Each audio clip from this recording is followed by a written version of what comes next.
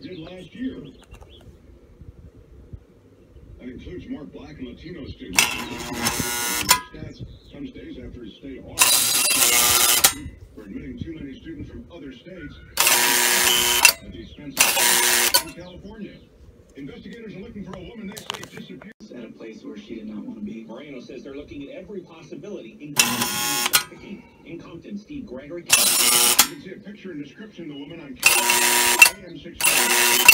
Iceland's prime minister is quitting because of his offshore holdings. Uh, lawmakers say that's a major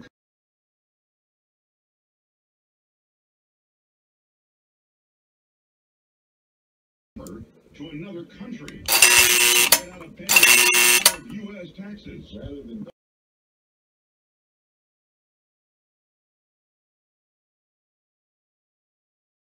And a big surprise that this company came away with the right.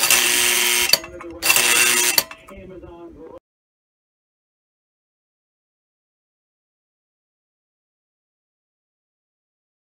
off to Harry Potter land. Next.